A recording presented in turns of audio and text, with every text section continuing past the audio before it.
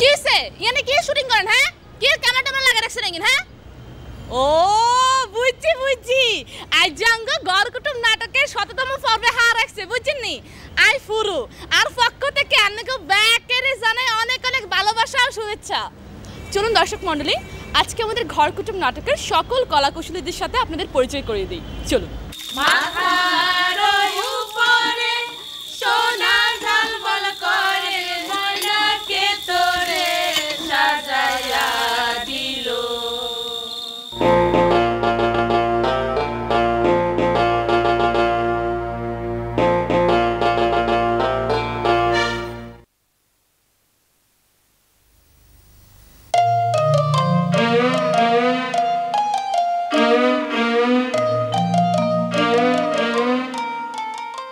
বাংলাদেশের এবং বাংলাদেশের বাইরে চ্যানেল আয়ের সমস্ত দর্শককে, বিশেষ করে ঘর কুটুম নাটকের দর্শককে, আমার ঘর কুটুম নাটকের সমস্ত মানুষের শিল্পী কলাকুশলের পক্ষ থেকে আন্তরিক শুভেচ্ছা। আজকে আমার বিশেষ ভালো লাগার দিন যে একটি সিরিয়ালের একশোতম পর্বে উন্নীত হয়েছে। নাটকটি দর্শকপ্রিয়তা পেয়েছে। আমার ভালো লাগা এই কারণে যে ঘর কুটুম নাটকটি আমার জন্য একটু চ্যালেঞ্জের বিষয় ছিল, কারণ এর আগে অসম্ভব সফল এবং জনপ্রিয় দুটি সিরিয়াল, একটি রঙের মানুষ এবং ভবের হাট। এর পরপরই আমি শুরু করি ঘর কুটুম আমার কাছে চ্যালেঞ্জ ছিল যে আগের দুটো নাটকের ফর্ম, মেকিং, জনপ্রিয়তা সব থেকে যেন ঘর কুটুম নাটকটি আলাদা হয় এবং সমান জনপ্রিয়তা পায়। আমার বিশ্বাস, সমস্ত শিল্পী, কলাকুশলী এবং বিশেষ করে এই নাটকের যিনি রাইটার, নাট্যকার বৃন্দাবন দাস, আমার অসম্ভব প্রিয় একজন মানুষ, প্রিয় নাট্যকার, তার কারণে এবং আমাদের সবার সম্মিলিত প্রচেষ্টায় আমরা সেই চ্যালেঞ্জটাই সফল হয়েছি।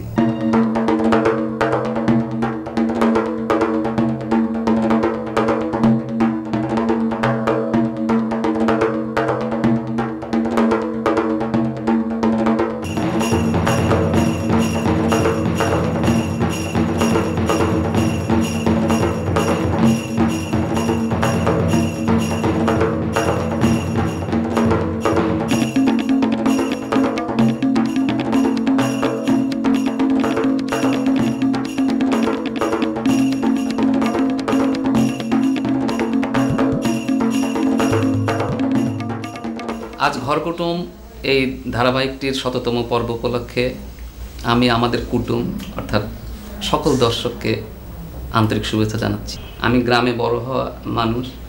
আমাদের আমাদের শৈশবে, কৈশোরে যে চরিত্রগুলো আমি গ্রামে দেখেছি, সেই চরিত্রগুলোকেই প্রাধান্য দেওয়ার চেষ্টা করি এবং তুলে ধরার চেষ্টা করি।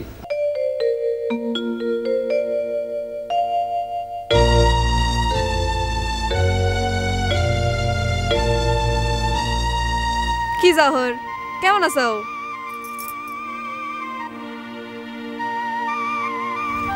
এই কতদিন পর তোমার সাথে দেখা হলো বলো? ভালো আছি। তুমি কেমন আছো? সিনেমা কেমন দেখলে? উমা সিনেমা দেখবার খবরও পেয়ে গেছো? এক গায়ের মানুষ সব খবরই পাওয়া যায়। কলে না তো সিনেমা কেমন দেখলে? খুব ফাইন পাইলে তুমিও একবার দেখে এসো। সাবানার যা অভিনয় চোখের পানি ধরে রাখাই মুশকিল। তুমিও কি কাঁদে ফেলাইছিলে? সত্যি কথা কব আসলে আমি বইটা ঠিকমতো দেখতেই পারি নাই। আন্তন ভাইয়ের পাশে বসে এত লজ্জা লাগতেছিল খালি এদিক ওদিক তাকায় দেখতেছিলাম আমাগর দিকে কেউ তাকায় আছে কিনা।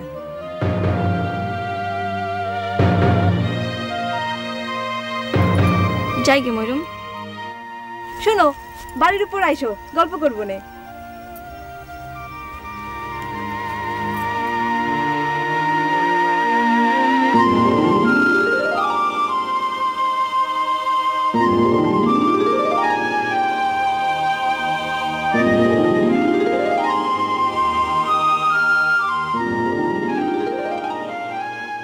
ঘর কুটুমের একশো পর্ব অনুষ্ঠিত হচ্ছে। পরিচালক বাংলাদেশের যে কজন নাটক করে, তার মধ্যে একজন অন্যতম পরিচালক, তিনি জনাব সালাউদ্দিন লাবলু। উনি আগে রঙের মানুষ করেছেন, ভবের হাট করেছেন। রঙের মানুষ একরকম ভবের হাটের আনন্দ আরেক রকম। কিন্তু ঘর কুটুম এ দুটো থেকে সম্পূর্ণ আলাদা। তুই তো আমারে ভালো করেই জানতু। গায়ের মানুষের কোনো ক্ষতি আমি করবার দেইনি এই নীতি এত বছর ধরে চলে আসতেছে। আর তুই শুরুই করল গায়ের মানুষের ক্ষতি করে। ওস্তাদ আমি তো আপনাকে আগেই কইছি ওই সমস্ত নীতি ফিতির কোনো দাম আমার কাছে নেই। যেখানে সুবিধা হবে সেখানেই কাম সারব। আমার পেটে খিদে আপনার মতো আধ্যাত্মিক চোর হলে তো আমার পেট চলবে না ওস্তাদ। আরে খিদে তো করতে মিলে না থাকে। তাই বলে তারা মালিকের পাতে মুখ দেয় না। ভুল করলেন ওস্তাদ। কুত্তে বিলাই দুই প্রকারের হয়। পাতে মুখ না দেওয়া বিলাইও যেরকম আছে আবার দুধের বাটি সাবার করা বিলাইও আছে। মনে করেন আমি পরের দলের। তার মানে তুই আমার কথা শুনবি না? গায়ের মানুষের ক্ষতি করেই যাব। গায়ের মানুষের কথা ভাববো না? অত গ্যারাম দরিদ্র হয়ে আমার পেট চলবে না ওস্তাদ। একবার চিন্তা করে দেখ গায়ের মানুষের ঘর চুরি হয়ে গেলি। যে কাঁদাকাটি করবি সেটা দেখে তোর বুকের মধ্যে একটু লাগবি না? তাতে একটু খারাপ লাগবি ওইরকম অনেক কিছু দেখেই তো খারাপ লাগে। ধরেন ওস্তাদ আপনার আসল পরিচয় না জেনে মানুষজন যে এই যে আপনাকে এত ভক্তি শ্রদ্ধা করে সেটা দেখেও তো আমার খারাপ লাগে। নিজের এত বড় মস্তান ভাবিস না ভেটা। আরে আমার মন্ত্রের জোর যতই কমে যাই এই আতাই সর্দার যদি এখন একটা ফু দেয়, তাহলে এই জগতলা গ্রাম থেকে তুই উড়ে যাব। কথাটা মনে রাখিস।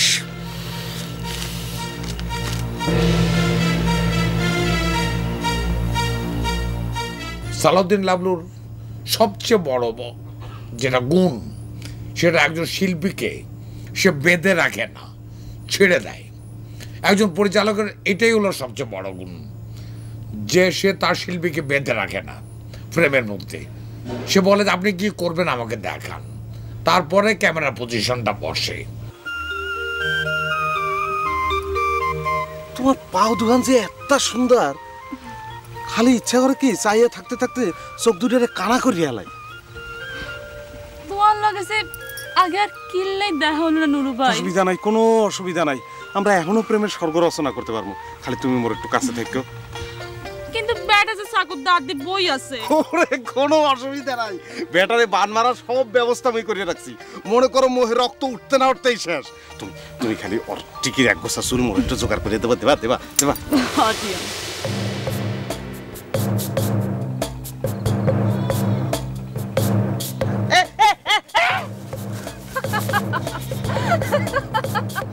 ঘরকুটুম নাটকের একশো পর্ব প্রচারিত হচ্ছে আজ। এটা ঘরকুটুমের একজন অভিনেতা হিসাবে টিম মেম্বার হিসাবে, এটা আমার কাছে অনেক ভালো লাগার একটা বিষয়। প্রথমে এই নাটকটি সম্পর্কে যদি আমি বলতে যাই, দুইজন মানুষের কথা অবশ্যই বলতে হয়। এক হচ্ছে যিনি রাইটার বৃন্দাবন দাস। অসাধারণ লিখেছেন এই নাটকটি। প্রতিটি ডায়লগ প্রতিটি সিকোয়েন্স আমার কাছে অসাধারণ মনে হয়েছে। কেউ শুনবার পারবি না কেউ দেখবার পারবি না কিন্তু তুমি সব শুনবার পারবা সব দেখবার পারবা। এই জন্যেই তোমার চোখ কান তৈরি করা লাগবে। তোমার কি ধারণা জন্মের পরেই মানুষের চোখ ফোটে? ফোটেই তো উস্তাদ নাকি আপনার কি মনে হয়? এইখানেই মানুষের সঙ্গে পক্ষীর দারুণ মিল। ডিম ফুটে পক্ষী জন্ম নেওয়ার পর তার চক্ষু দুইটা বন্ধ থাকে, সে কিছু দেখবার পায় না। এমনকি নিজের বাপ মায়েরও দেখবার পায় না। কিন্তু মানুষ জন্মের পর তার চক্ষু দুইটা খোলা থাকে ঠিকই, সেও কিছু দেখবার পায় না। ঠিকই তো উস্তাদ এরম করে তো কোনোদিন চিন্তা করে দেখি নাই। পক্ষীর তো একবারেই চক্ষু ফুটে যায়। সে উঠতে শেখে, স্বাধীন হয়ে যায়।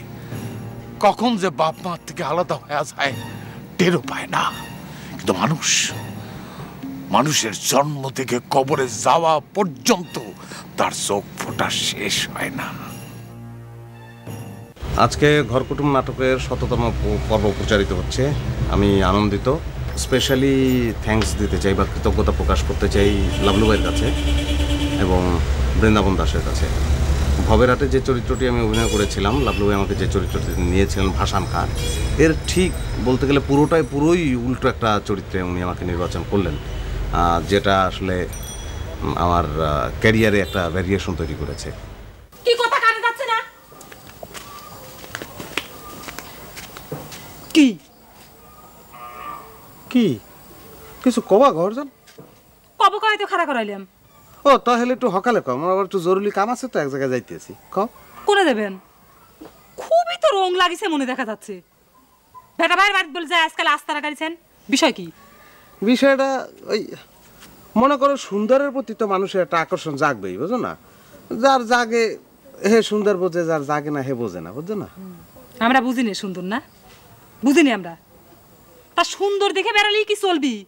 বসে বসে খায়া যে ভুড়ি মুটা হয়ে গেছে সে হুশ আছে আপনার? না। ও এতদিন তো জানতাম যে শুট কাবাই যদিও হে অযোগ্য হ্যাঁ রে ওস্তাদের দায়িত্ব দিছে দলের মাতদারি করার।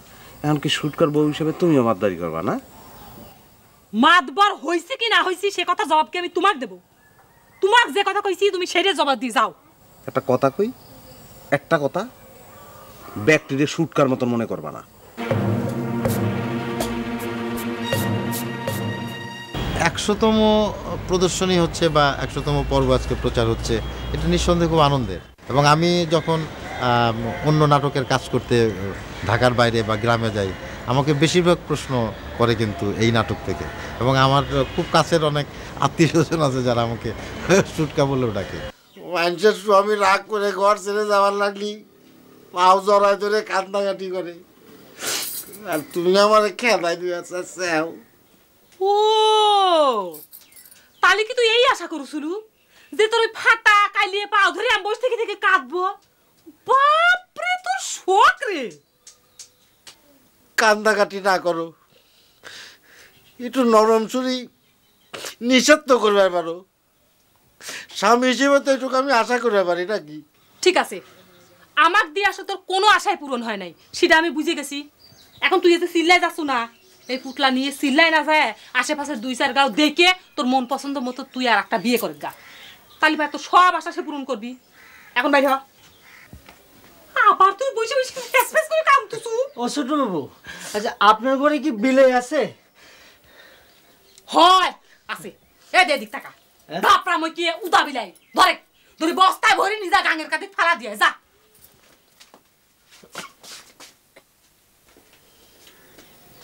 সুটকা ভাই কি হয়েছে?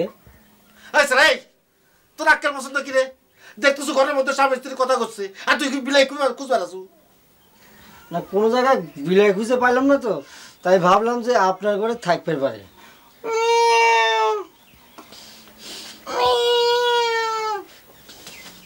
আচ্ছা রে ইরম করা লাগেনি। কলেই তো হতো। ঘর কুটুমের শততম পর্বে সবাইকে অনেক অনেক অনেক শুভেচ্ছা। দুঃখের ব্যাপারগুলো আমার অনেক মজার। যেমন আমার আমার প্রত্যেকটা দৃশ্যের যখন কান্না শুরু হতো ইমোশনাল সিকোয়েন্সগুলো তখন কান্না শুরু করলে আমি থামতে পারতাম না। মিথ্যেবাদী করে কা কুর্তা ভেড়ার কাছে গল্প দিয়ে আসিস? যে বউ নিয়ে সুখী শান্তির বসবাস করতেছু। এই সুখী শান্তির নমুনা না? সারাক্ষণ বেটাসাল মানুষ ঝগড়া করলাম করে। তুমি যা জিজ্ঞেস করতে চাও তার উত্তর দিচ্ছি। তা তো করতে পারব না। আমি খালি কব আমি যে কথা কব তার কোনো উত্তর তো দিতে পারব না। পারব না পারব না।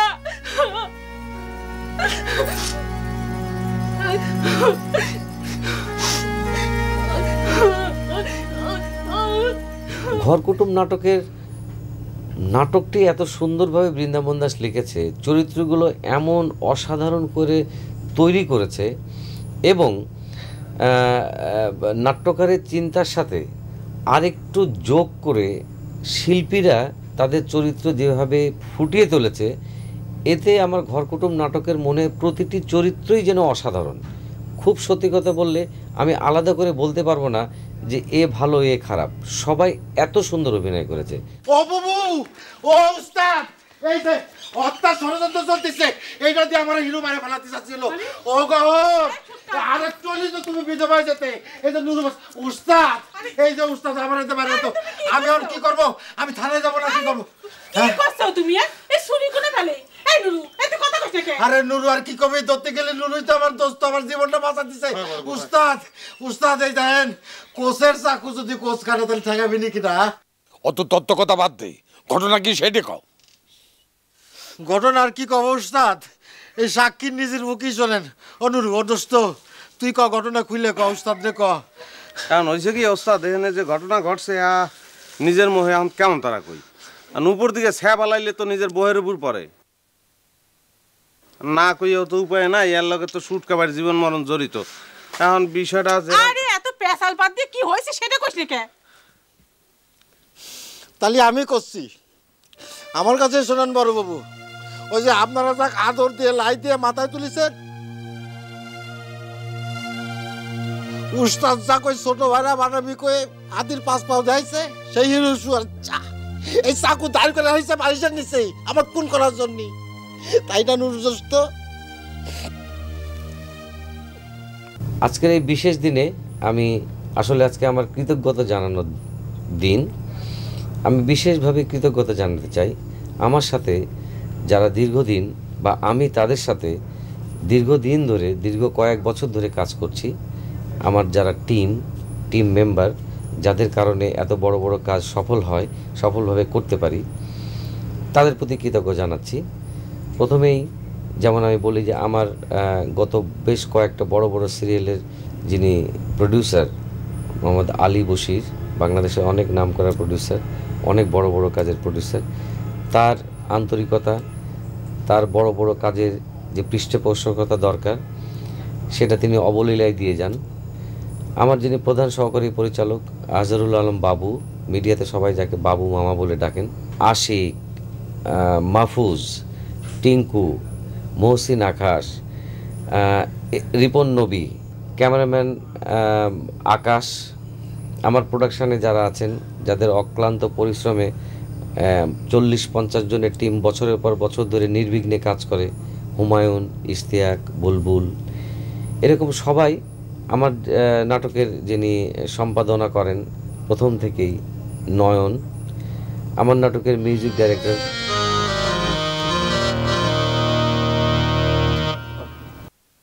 হ্যালো ভিউর্স আমি আরমান খান, ঘর কুটুমের সংগীত পরিচালক। আমার জীবনে অনেকগুলো ধারাবাহিক নাটকের চেয়ে এই নাটকটি একটু আলাদা ভাব বিকজ এই নাটকের ক্যারেক্টারাইজেশনসগুলা সবাই খুব মানে ফানি বাট ভেরি সিরিয়াস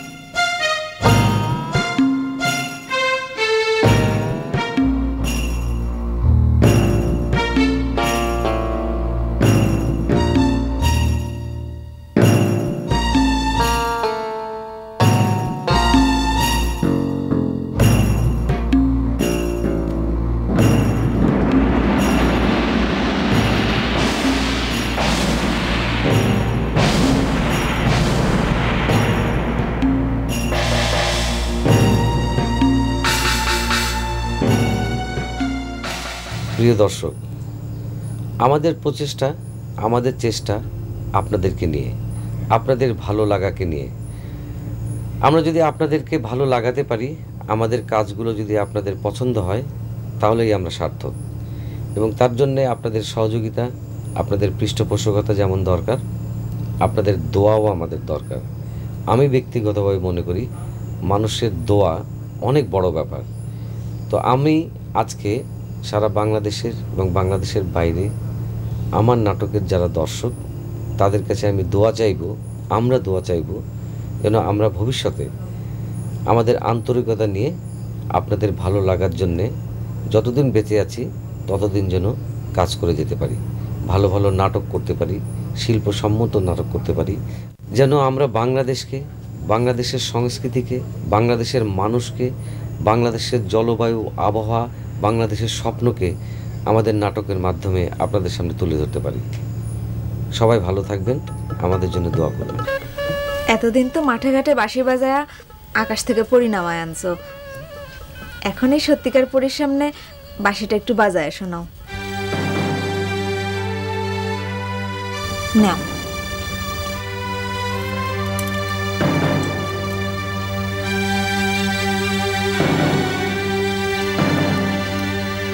बाज आओ